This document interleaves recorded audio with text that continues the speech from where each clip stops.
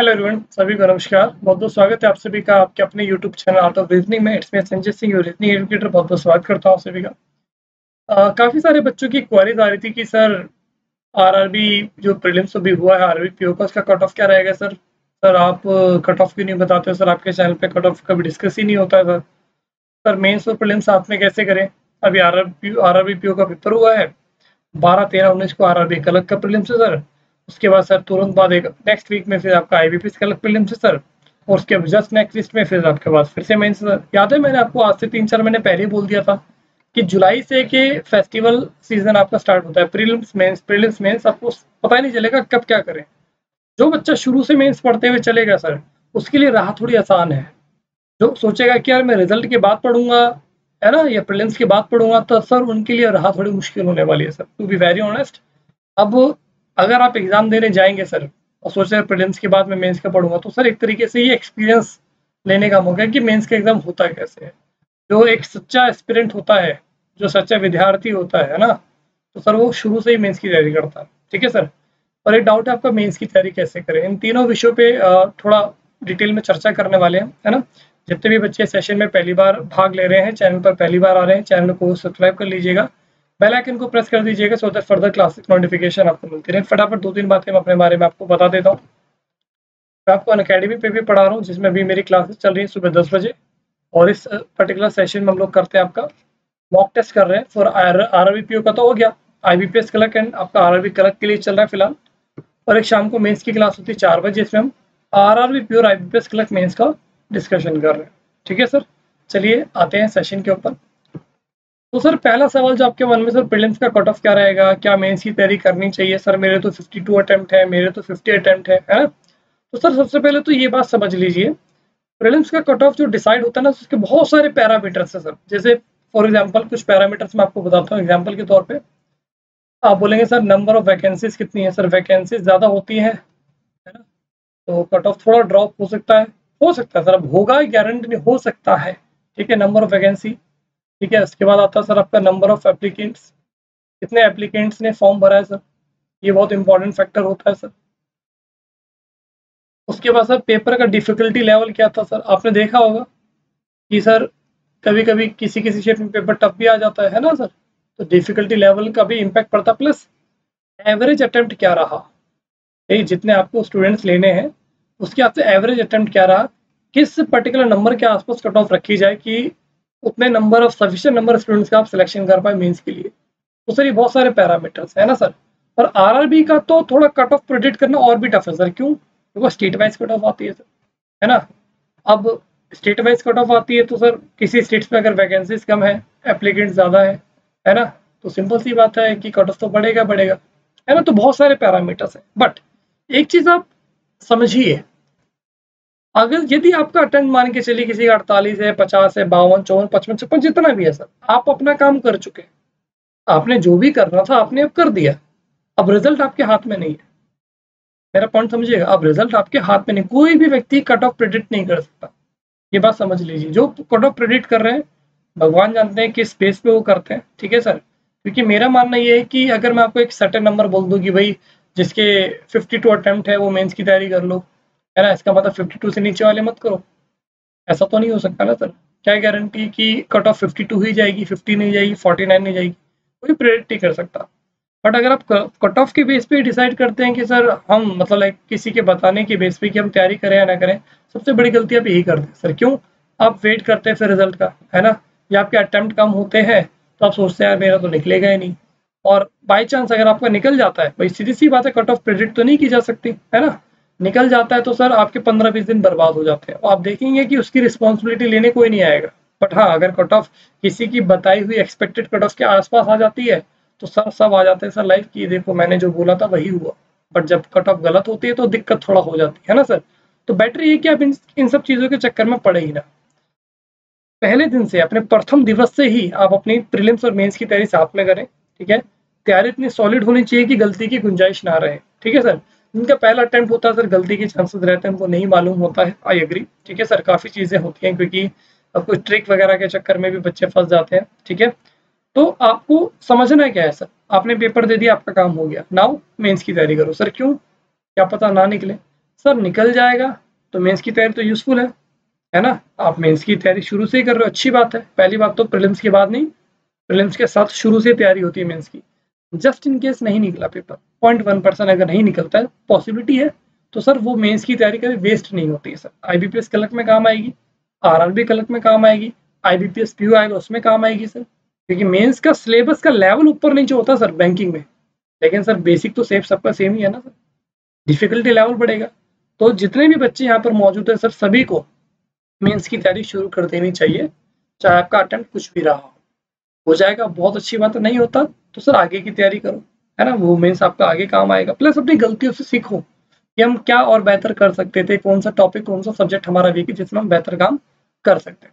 ठीक है तो आज से प्रण ले लीजिए कि एक्सपेक्टेड कट ऑफ़ के चक्कर में नहीं पड़ेंगे। ठीक है, सर? अपना पेपर दे करके आएँगे, सीधे मेंस की तैयारी करेंगे, जो शुरू से होनी चाहिए। आई होप पहला पॉइंट आपको क्लियर हो गया होगा। ठीक है, सर? नेक्स्ट पॉइंट आपका सर मेंस और प्रीलिम साथ में कैसे करें? सर, ये बड़ा दुविधा वाला प्रश्न है ना, सर? अब है क्या सिस्टम सर समझना? कुछ बच्चों का बारह और तेरह अगस्त को पेपर है आरआरबी का, किसी का उन्नीस को है। ना उसके बाद आपका एंड में आपका आरआरबी का छब्बीस, सत्ताईस को आरआरबी सॉरी आईबीपीएस का लगा प्रीलिम्स हो जाएगा, है ना सर? और नेक्स्ट वीक में फिर उसके बाद आपका आरआरबी पीओ मेंस है। चांस है कि आरआरबी पीओ मेंस भाई शुदा थोड़ा आगे एक्सटेंड हो सकता है चांसेस है बट गारंटी नहीं है। क्योंकि आपने देखा होगा कि एक एग्ज़ाम आगरा के किसी एग्ज़ाम सेंटर में थोड़ा इशू हुआ था, है ना? तो वो तो खैर अभी आई बी डिसाइड करेगा, है ना? तो बट दोनों चीज़ों को बैलेंस करके चलना अपने को। तो आप कुछ इस तरीके से कर सकते हैं, मान के चलिए। भाई, जिनका प्रिलिम्स का पेपर है, जिन्होंने फॉर्म वगैरह फिल किया, आर के लिए उनको डेली प्रिलिम्स का एक मॉक तो देना है। एटलीस्ट एक मॉक तो आपको प्रिलिम्स का डेली देना ही देना है एनी हाउ ठीक है?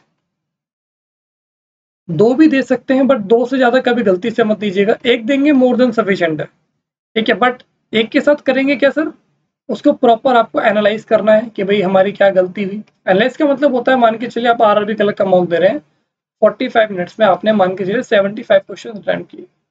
उसमें दो आपके रॉन्ग हो गए। तो पहले उनको चेक कीजिए, गलत की हुई। फिर जो रिमेनिंग पाँच क्वेश्चन आपके बच गए, जो आपके अनअटेम्प्टेड थे, उनको अटेम्प्ट कीजिए। सर क्यों? तो सर अगर उसी टाइप के क्वेश्चन अगले मॉक में रिपीट होता है, फिर से उन्हें छोड़ दोगे तो क्या फ़ायदा सर है ना? प्लस एक चीज़ और इसमें एनालाइज करने वाली है कि सर किसी क्वेश्चन में बहुत ज़्यादा टाइम तो नहीं दे रहे। वो भी आपको एनालाइज करना है सर ठीक है? साथ में एक चीज़ और क्या आपको ध्यान में रखनी सर? जो गलती आपने आर आर बी पीओ के टाइम पे की सर मैंने आपको पहले ही बताया था कि भाई पॉसिबिलिटी पे थोड़ा काम करो। रीजनिंग की मैं बात कर रहा हूँ। बोला था ना कि दो दो पॉसिबिलिटी बन, बनानी चाहिए आपको। मेंस में भी प्रीलिम्स में मिनिमम तो आपने देखा कि पेपर में पॉसिबिलिटी वाले क्वेश्चन काफ़ी देखने को मिले थे। आरआरबी क्लर्क में चांसेस उतने नहीं होते, फिर भी सर डिनाई नहीं कर सकते। आए या ना आए, है ना? तो अपना थोड़ा लेवल हल्का सा बढ़ा करके ही चलिए। ठीक है? और जो गलती आपने आर आरबी पीओ में की, जो टॉपिक आपका वीक है, उस टॉपिक पे थोड़ा काम कीजिए कि भाई ये सर्टन सर्टन मेरा टॉपिक वाला वाला टॉपिक मेरा वीक है, इसको मैं थोड़ा ब्रश अप कर लेता हूँ, है ना? ताकि वो एक टचअप करके आप जाएँ तो क्या ताकि आप एग्ज़ाम में अच्छा परफॉर्म कर पाए। मतलब एक मौका आपको डेली देना है मिनिमम मैक्सिमम दो से ज़्यादा नहीं देने। जो भी टॉपिक में आपको दिक्कत उस टॉपिक को कर लो, ठीक है? साथ में पजल और डीआई की प्रैक्टिस आप कर सकते हो, ठीक है? और जो टॉपिक अर्थमेटिक वीक है तो उसका पर्टिकुलर टॉपिक ले लो स्पीड मैथ कर लो, है ना? सेम रीजनिंग में आपका पजल का सेट हो गया। अगर बी में बार बार दिक्कत तो कर लो इस तरीके से आप कर सकते हो। ठीक है सर? साथ में मेंस आपको मेंस के लिए सर क्या कह सकते हैं सर? मेंस कैसे करें सर?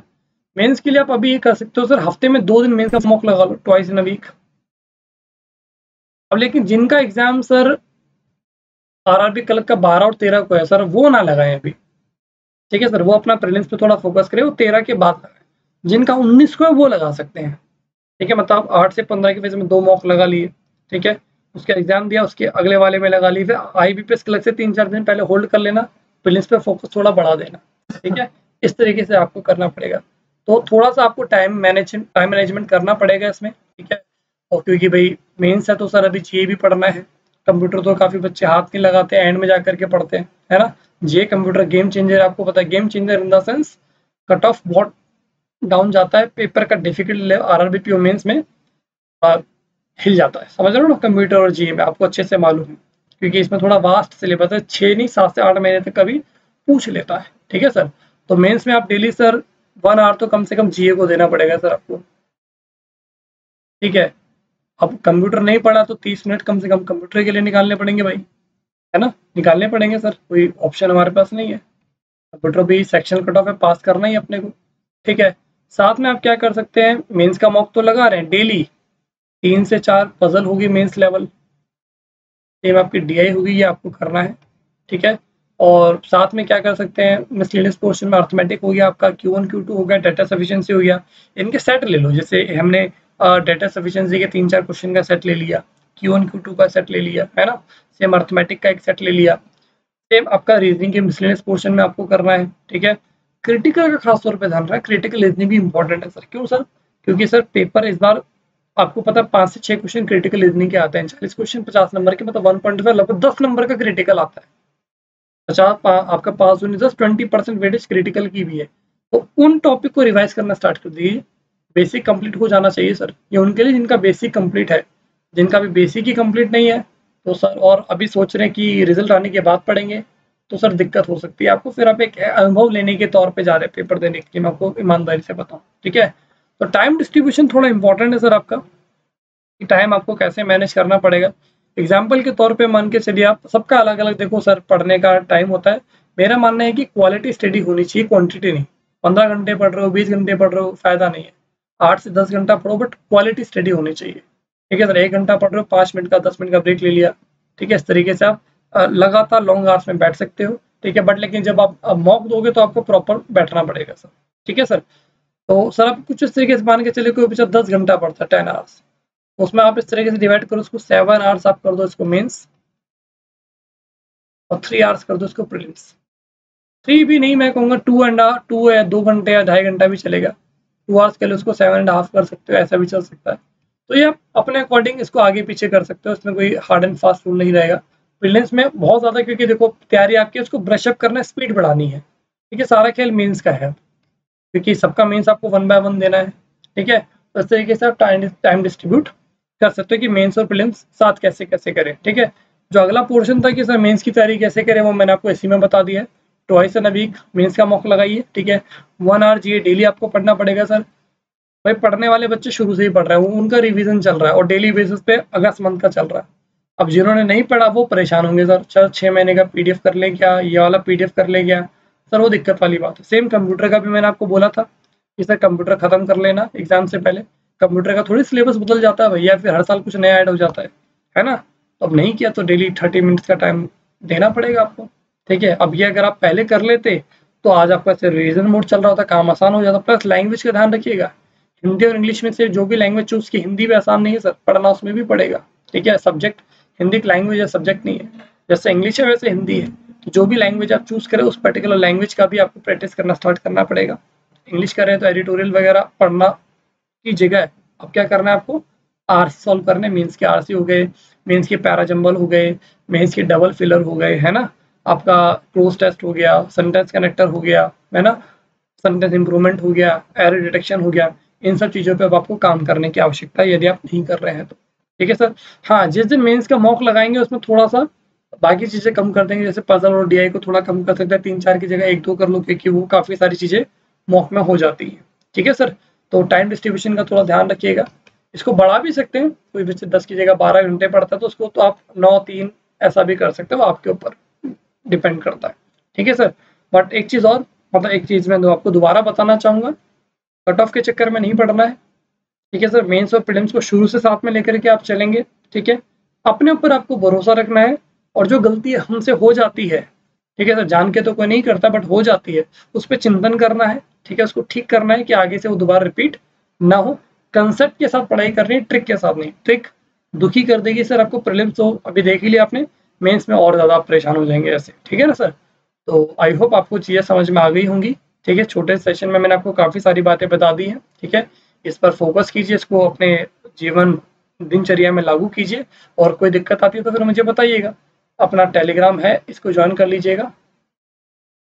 इसका नाम है at the rate art of reasoning आप ज्वाइन कर लीजिएगा, और कोई डाउट हो आप यहाँ पे भी मुझसे पूछ सकते ठीक है सर अच्छे से तैयारी कीजिए, ठीक है? चलिए, मिलते हैं फिर आपसे नेक्स्ट के सेशन में। सभी को नमस्कार। ध्यान रखिए, अपना और फैमिली का keep rating keep doing hard work मेहनत करते रहिए। हम अपना नाम रोशन कीजिए। मिलते हैं। बाय बाय टेक केयर ध्यान रखिएगा।